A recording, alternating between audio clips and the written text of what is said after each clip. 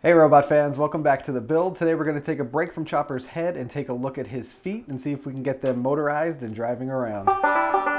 Diving right in, I did a rough model of the foot shape. Uh, Chopper's foot is pretty basic compared to R2-D2's foot, which is really nice on the 3D modeling side of things.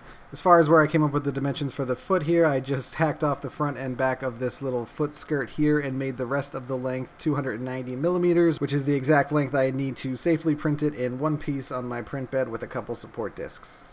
I'm designing this whole foot from scratch, but the basic idea behind how it works is nothing new, especially in the astromech community. I roughly placed a scooter motor which will drive a wheel in the front and an omni wheel will be trailing in the back. With the main shapes in place, I kind of subtracted out a structure for the main drive mechanism which will sit inside of an outer skin. From there, I really just built out the main structures and started placing the components more realistically.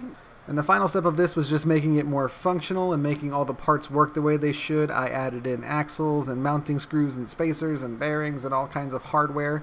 I also removed a lot of dead weight from the frame. This is still going to be a big old honking foot, but I reduced a lot of the mass to make the printing process a little easier.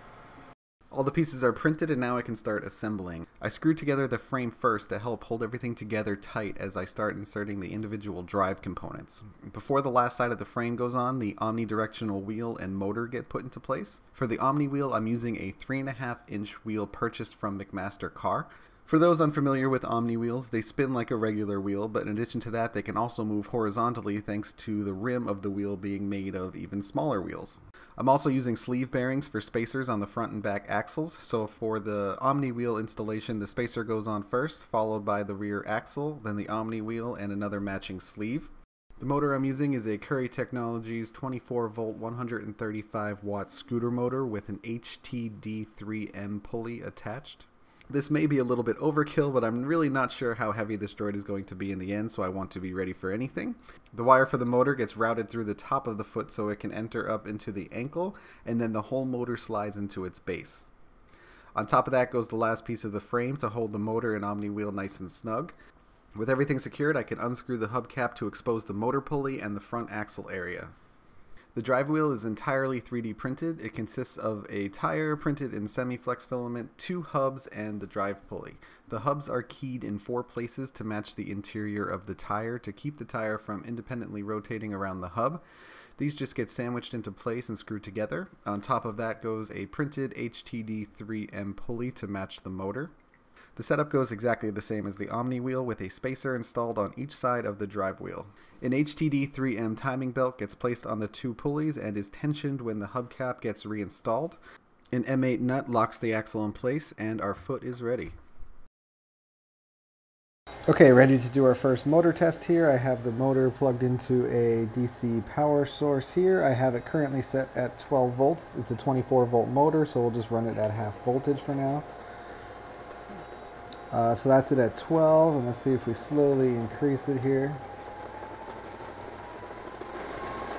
There's 18.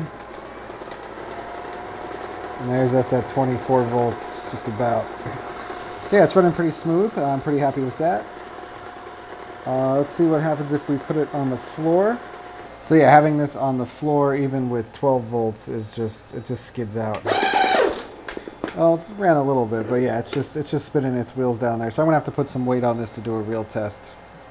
Since we're doing a real test here, we should really do a real test. I printed the other foot, which is really just a mirror image of the original foot. I'm attaching an M12 axle between the two of them with 30 pounds of weight on it so we can actually drive.